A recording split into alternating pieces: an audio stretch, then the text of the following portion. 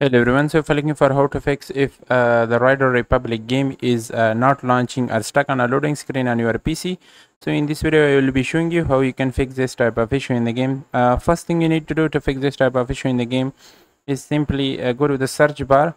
Then here you need to search for uh, task manager, open the task manager. In the task manager you need to first, uh, right, first right click on the Steam and then force close the Steam also do the same step for the game. You need to force close the game as well. Uh, once you do that then right click on the steam and then run the steam as an administrator. Give admin permission to the steam.